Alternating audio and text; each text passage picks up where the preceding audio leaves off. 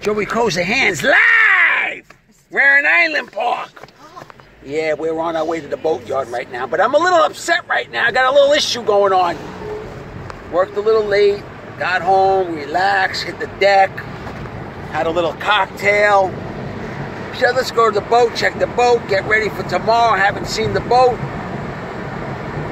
Let's get pizza. It's late. We can't go to Sorrento's. Boom, I get a text message.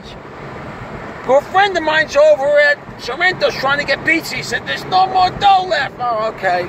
I said, you want me to call? No, no, I don't get no response. All of a sudden, next thing I know, the guy's getting fucking pizza from Sorrento's. All right.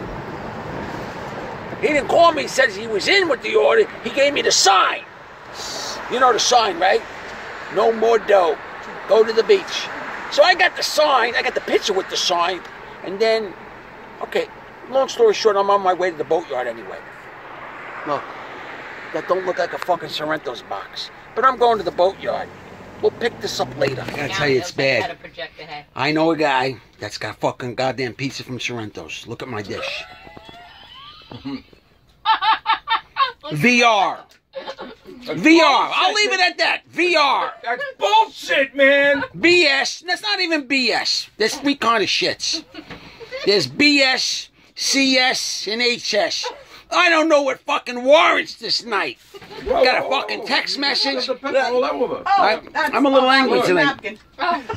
Just checking. I thought I had something stuck in my tooth. But anyway, No worries. Yeah. Look at that dish. That's some slice of Sorrento's pizza. I'm just thinking about it. Then my boy Anthony called me up and said, Joe, the place was cranking tonight. I, and you know what I did? Some guy came in and I squeaked in an extra pie for him. Guess who it was? VR. To be continued.